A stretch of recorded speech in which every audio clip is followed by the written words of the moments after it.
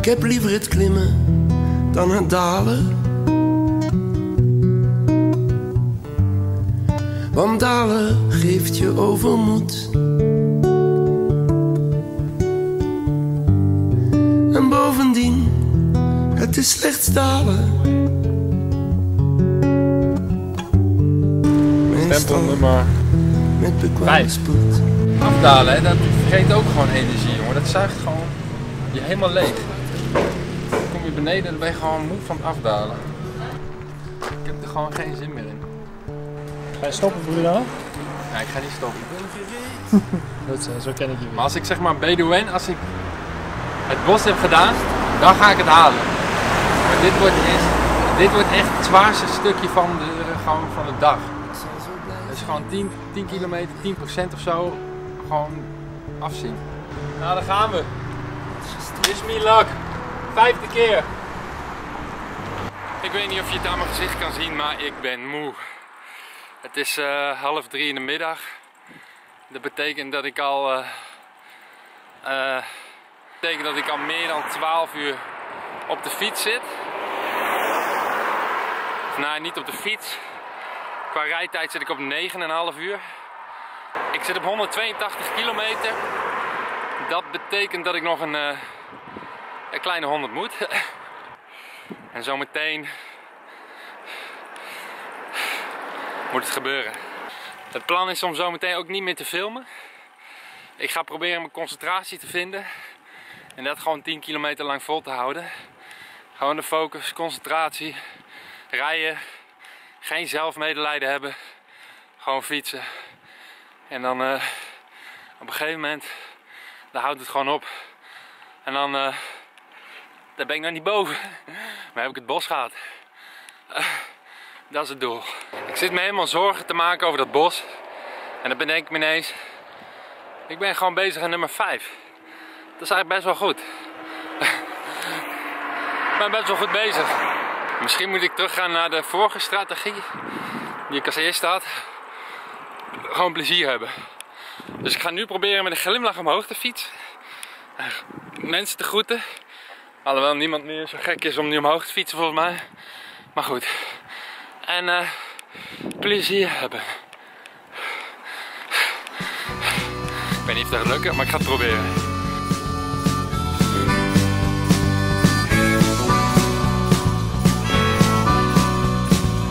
Vanochtend de stad in de brandende zon, weinig hoofd, veel hart.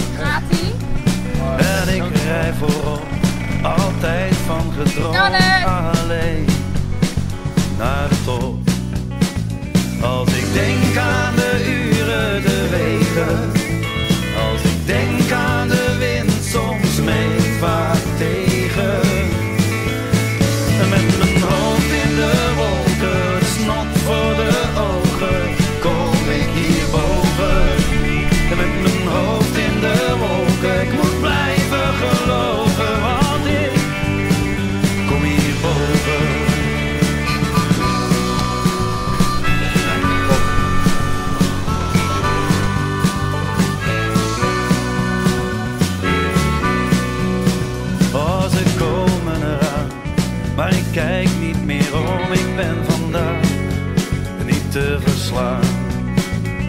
En alles doet zeer, alleen naar de top vanaf nu. Geen volgen meer. Slechte dagen, ik ben te vergeten. Als sneeuw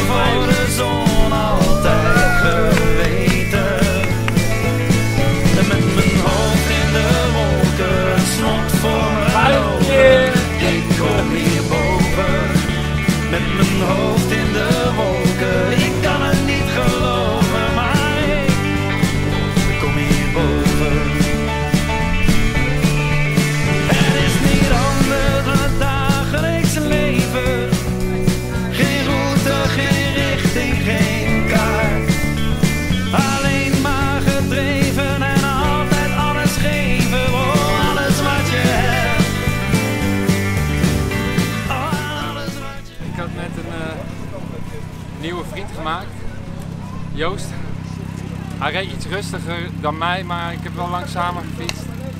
Waardoor ik eigenlijk een beetje energie kon tanken en, eh, en ik merk dat het echt wel lekker ging weer. Dus ik ben eh, positief gestemd. Ik vind dit kale stuk vind ik gewoon sowieso relaxed, weet je. Dat loopt maar, loopt gewoon beter. Daar kan ik gewoon de hele dag door rijden. Nu afdalen en dan laatste. Laatste stempel halen, even bij de bakker, dan ga ik even een paar colaatjes halen. Zal ik er drie halen? Drie colaatjes. Veel vergnügen nog, hè? En schöne Ferien, hè? Merci beaucoup. Merci beaucoup. Er staat dus ook aardig in. Ja, er bestaan ook aardige Fransen, ja. Nee, maar het is ook een beetje wat je zelf ervan maakt. Hè. Kijk, als Fransen mij zien, worden ze gelijk aardig. Maar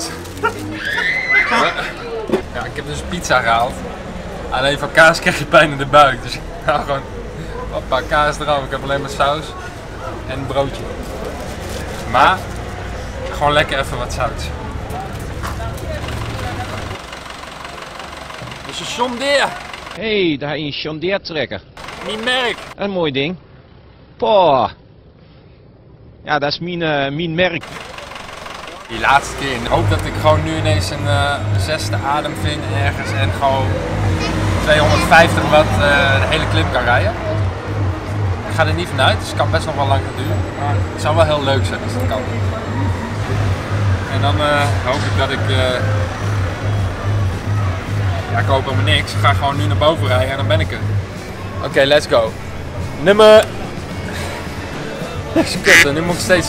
Eerst klok 1, 2, 3, klok 6. Nummer 6, ik ben er klaar voor. Hoppa.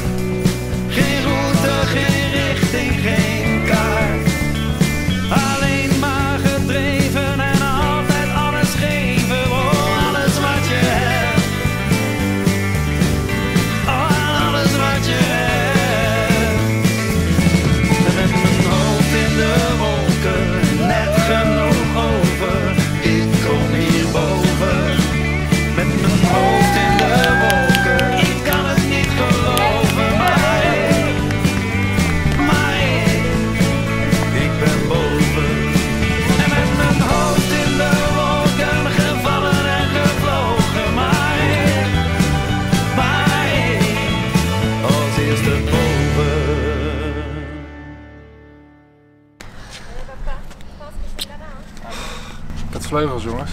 Ik zag het, die ging hard man. Ik had de ene laatste klim heb ik Joost ontmoet en we hadden het over eh, spi- spiritualiteit. En hij vertelde me dat hij echt het gevoel had dat hij vandaag niet alleen had gefietst. Dat hij ergens ondersteuning had. Ik vertelde hem dat ik het vandaag nog niet gemerkt had. Maar dit laatste stukje was echt bijzonder. Ik had echt, ja, ik voelde ook alsof ik niet alleen fietste. Ik voelde mijn benen niet meer. Eh, naar eh Bedouin omhoog had ik wattages tussen de 170 en de, en de 180. En ik reed nu wattages tussen de 250 en de 320. De meeste zo tussen de 280 en de 300. En eh, ik vloog gewoon echt omhoog. Het was echt niet normaal. Gewoon bijzonder. Echt vleugels gekregen. Echt, eh, weet het niet meer. Het ging gewoon fantastisch. Nu gaan we het vieren.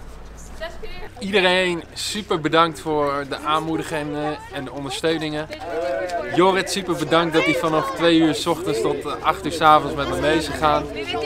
Ehm, daarnaast wil ik Robiek bedanken, die hebben me binnen 11 weken tijd gewoon klaargestoomd om eh, dit te doen. Ehm, ik wil Trek bedanken voor deze fantastische fiets. Echt, ik heb een eh, fantastische dag doorgemaakt. En, ja, zelfs tot het einde eh, zat ik gewoon nog lekker op de fiets. Ehm, daarnaast wil ik gewoon de rest van mijn familie en vrienden bedanken voor de ondersteuning. En allerbelangrijkste, Carlijn, dat hij eh, me accepteert en dat ze me de kans geeft om dit te doen.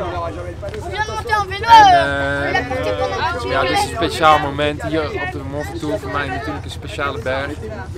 En ik, eh, ik wil mijn vader bedanken dat ik door hem zo geworden ben zoals ik nu ben. En eh, een van de belangrijkste dingen die hij mij heeft geleerd is afzien. En eh, ja, daardoor kan ik dit soort dingen doen. Afzien als een beest. Gelden, omkijken, soms weghouden, doorbijten, soms, soms flippen, doorslaan, soms, soms slikken, doorgaan, soms, soms een tand door een lip. En soms helemaal niks, dit is het leven. En ik weet